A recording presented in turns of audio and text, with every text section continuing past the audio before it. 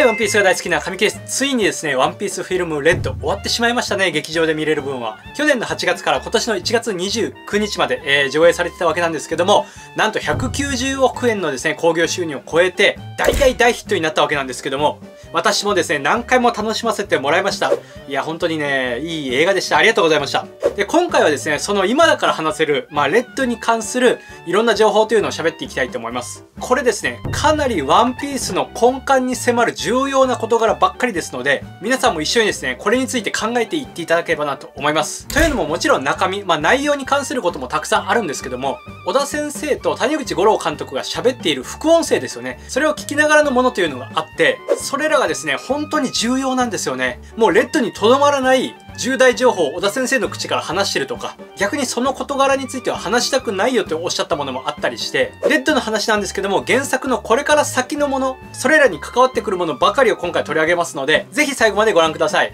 でね、ちょっと副音声の感じを受けてのお話になりますので、ちょっとね、私の口から言うとニュアンスが違う分とかもちょっとあったりすると思うんですよね。もちろんですね、もう私こう耳をね、澄ましてね、集中して聞いてたんですけども、あくまで映画館で聞いた時の感覚で今から喋りますので、ちょっと話し方の雰囲気とかニュアンスが違う部分があるかと思うんですけども、えその辺はちょっとご了承ください。ちなみにですね、あの、フィガーランド家ですね、の話については昔、えもう動画を撮っておりますので、それ以外をですね、今回喋っていきたいと思います。それでは行きましょう。まあ前にですね、副音声聞いてからの動画撮ったんですけど、あそこから私何回か行って、副音声さらにですね、もう聞き逃さないように聞いてきました。そこで重要だと思われるのはですね、たくさんあるんですね。例えばこちら。新時代のためだ。フィルムレッドの中盤で、ウタが麦わら帽子をルフィから奪って、こういうセリフを言うんですよね、ルフィに対して。なんで海賊王を目指すのと。するとルフィはこう言うんです。新時代のためだと。ここかなり重要ですよね。もう本当に原作の、まあ、例えばもう夢の果てがそれなんじゃないかと。直結して考えてしまいそうな、えそういう事柄なんですけども、これですね、副音声を聞いてると、小田先生もここはですね、結構悩まれたらしいんですよね。なんで海賊王を目指すのと言われた時にルフィは何と返すか。これは原作にも深く関わってる部分だから結構考えましたということでしたね。でも最終的に残ったその新時代のためだという言葉は、小田先生の中でも、ルフィのこれからやりたいことに含まれてるらしいんですよね。やりたいことの総括に含まれてるので、今後原作でルフィがいろんなことをしても、なんで海賊王を目指すの？新時代のためだというのは、どこも矛盾しないということを、こちらはっきりおっしゃってました。まあ、つまり、ルフィの夢の果てというのは、それが何なのかはまだ明かされてないんですけども、その中に新時代を作るためというものが含まれてるんですね、意味合いとして。だからみんなで宴をしたいとか、そういったものはちょっと可能性は薄まってくるのかなと思います。まあ夢の果てに関してはいろんな説があるんですけども、その説に新時代のためらが含まれてるかどうかっていうのを考えながら見ていくと、またちょっと近づいてくるのかもしれませんよね。夢の果てはシャンクス・ルフィ時代に生まれた。こちらも明言されてました。小田先生曰く、ルフィの幼少期というのは4つに分かれると。ルフィ・ガープ時代。次にシャンクス・ウタ・ルフィ時代。そして次にシャンクス・ルフィ時代。そして最後にルフィ、エース、サボ時代と。尾田先生はですね、このウタというヒロインが出てきて、幼馴染ということがありましたので、描き方によっては、読者が大好きなこのルフィ、エース、サボ時代のその関係性を崩してしまう可能性もあると。そういう危機感をちょっとお持ちだったらしいんですよね。あんまりウタに寄りすぎると、ルフィ、エース、サボ時代が薄れてしまうんじゃないか。まあそういった感じだと思うんですけども。まあこの辺りの幼少期のどこに歌を挟むか、そしてルフィはどういう気持ちの変化があったのかっていうのはすごく考えて、読者の中の原作のイメージを崩さないように、まあ慎重に作られたような、えー、感覚を私受けました。そして、得点でもらえる40億巻なんですけども、そこではですね、歌に夢の果てを言うルフィというのが書かれてるんですけど、そこはね、実はちょっと間違えてたんですよ。かなり昔に考えてたプロットではそうなってたけども、さっき言ったようなことを踏まえてどんどん考えていくと、ルフィが夢の果てを考えるというのは、歌と会った後なんですよと。えさっき言った4つの時代で言うと、シャンクス・ルフィ時代に夢の果てをルフィというのは思いついたんですということをおっしゃってるんですよね。なので40億間のその部分っていうのは修正してくださいということで、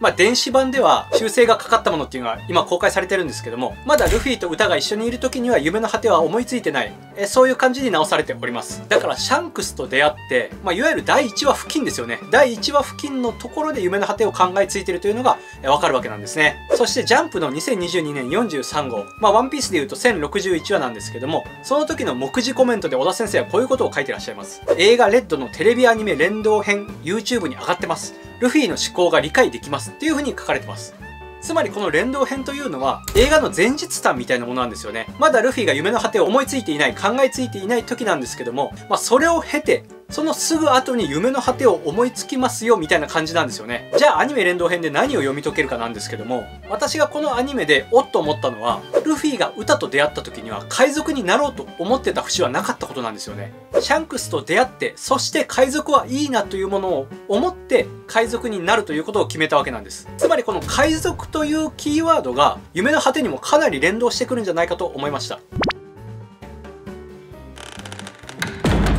シャンクスの拾われた過去。まあ、ウタをですね、拾って、まあ、シャンクスがあやすシーンあったじゃないですか。あの時に一瞬フラッシュバックしてですね、自分がロジャーたちに拾われた過去っていうのがですね、ちょっとだけ描かれるんですね。で、あれも副音声で谷口悟朗監督が尾田先生に、あれっていうのはまあ出してよかったんですか？みたいなことをおっしゃってて、そしたら尾田先生は、まあ実はシャンクスというのはね、まあやっぱり設定っていうのは、その過去、過ごしてきた、ま状況とかいろんなことっていうのは、自分の中ではガチガチに結構決まってる方のキャラクターですと。まあもちろんそうですよね。そしてシャンクスがロジャーに拾われたというのは、もともと決まってたことなんですと。まあレッド以前に決まってたものなんです。そして今回映画で歌をシャンクスが引き取るわけなんですけども、あの時シャンクスっていうのは20歳なんですよね。その20歳の青年が赤ちゃんを育て上げるというのには、それなりの理由があると。なので、まあ、自分がそう言って拾ってもらった過去があるからということを出すことで20歳の青年シャンクスがウタを育てようと思う、まあ、意味合いを持たせたというか、まあ、自然に見せるように見せたと。いうことをおっしゃってるんですよね。なのでまあ RED がなくても尾田先生の中ではシャンクスの過去、その拾われた過去というのはしっかり決まってたということですよね。で尾田先生が今回おっしゃってたのですごい興味深かったのが、そういった風にシャンクスっていうのはいろんなことを決めてるけれども、まだまだ知らないシャンクスが尾田先生の中でもいるということなんですよね。そしてそれを知っていく作業っていうのが結構 RED を作る段階ではあったと。ワンピースの原作1055は新時代で、シャンクスが頭の中で自分の過去をちょっとだけ思い出すシーンがあるんですけども、そこに歌らしきシルエットがあって、それを変えた理由というのも、まあ、基本的に映画のキャラクターというのは原作に出さないらしいんですけども、まあ、読者が混乱するからですね。だけど、シャンクスが自分のことを思い出す時に、歌がいないのはおかしいだろうっていうことで、あの歌というのは書かれたらしいんですよね。まあ、シャンクスもそうだし、ルフィもそうなんですけど、これからのまあそういう映画とか、いろんな要素で、いろんな外的要素で、過去が深みを増していく可能性っていうのは大きいですよね。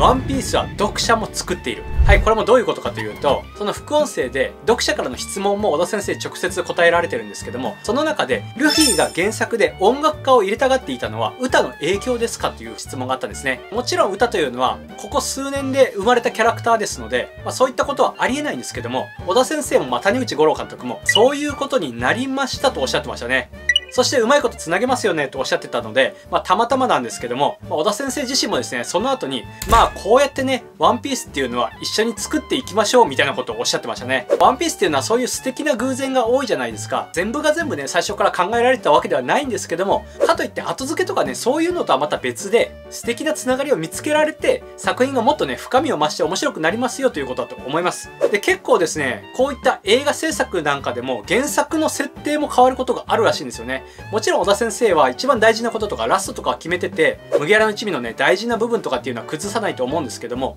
かといって全部が全部がっちりね、小田先生の中で決めてるかというとそうではなくて、例えばですね、このレッドで変わったことで言うと、ヘルメッポはソードじゃなかったらしいんですよね。他にもブルーノとかカリファも CP0 じゃなかったらしいんですよ。原作とか小田先生の中では。だけども、レッドの設定がこう来た時に、まあ、ヘルメッポがソードで、ブルーノとカリファが CP0 になっていて、まあ、その考えはなかったけども、これをね、違いますと言ったら、いろんな部分が変わってきちゃうから、たとえ別にそうであったとしても問題なく、今後原作でもおそらく進むので、OK しましたみたいなことをおっしゃってるんですよね。まあ、こういったのは結構あるみたいで、レッドにおいても、まあ、登場キャラの選抜ですよね。それこそブルーノとか、まあ、バルトロメオとか、主要キャラはもちろん決まってたと思うんですけども、その周りの人たちっていうのは、あくまでも制作サイド、映画サイドが提案して小田先生が OK したと。エンディングもそうですね。ファンにとったらすごいサービスの連続だったんですけども、あれも小田先生っていうのは、まあ、ほぼほぼ知らなかったみたいなことをおっしゃってましたね。で、さっきの読者もね、ワンピース作りますよっていうのは、まあ、歌の静止問題もそうだと思うんですけども、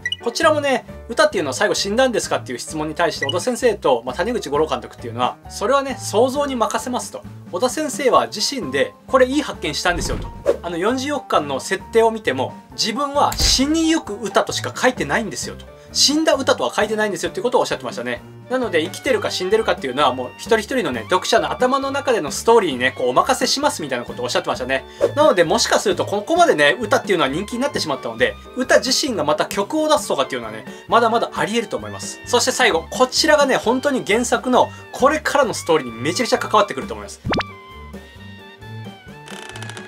ワンピースに存在する概念。このフィルムレッドの中でトットムジカっていたじゃないですか。あの魔王みたいな存在ですよね。あれっていうのは今までのワンピースの世界でもいないじゃないですか。ああいう概念的なものはですね。そして質問でトットムジカのような魔王というのは原作にもいるのですか。今後出てくるのですかっていう質問があってこれはですね谷口五郎監督が最初こう出したらしいんですけど小田先生に。谷口監督もこれはいけるのかなみたいな感じで提案したらしいんですよ。というのもやっぱり原作にはないようなキャラクターじゃないですか。でこれ大丈夫なのかな？いけるのかな？と思ったんですけども小田先生としてはそれを受けて実はねワンピースの世界にはまだ出してないけどもそういう概念的なものはいるということをおっしゃってるんですよ。そしてさらにワンピースの世界っていうのは小田先生の中で一つだけ不思議なものがあると、まあ、それが悪魔の実なんですけどもそこは逸脱してないということなんですよね。あくまで悪魔の実から派生するものでそういうものが実はあるんですよということで小田先生も納得されて OK されたらしいんですよ。これが何なのかですよね。しかしですねこれが最後重要になってくるとは思うんですけどもでもですね小田先生はそれをねこれは最後まで書かないかもしれないということもおっしゃってるんですよね。説明しないかもしれないみたいなことをおっしゃってました。まあ全部が全部ね説明する作品っていうのもどうなのかなということでその質問を締めくくられておりましたので、まあ、そこから察するに何て言うかな伏線を全部きれいに回収するというよりはやっぱりいくつかはぼんやりとねしたまま終わるんだろうなっていう印象を私は受けました。しかしワンピースの世界にねそういう概念的なものがあるっていうのはびっくりですよね。まあ太陽の神ニカがそれに近いのかなっていう、まあ、現段階では思うんですけどもまあ、そういったものが今後出てくるということなんでしょうか。そしてそれが今に残るワンピースのいろんな謎と、まあ、実は根っこの部分で繋がってるということだと思うんですよね。はいどんなことがこれから描かれるでしょうか。ということでレッドはね終わりましたので改めて副音声を聞きに行ってこれ原作にも深く関わってくるぞという部分をちょっと話してみました。是非皆さんが思う部分ありましたらまたコメント欄に書いていってください。よろしくお願いします。じゃあね。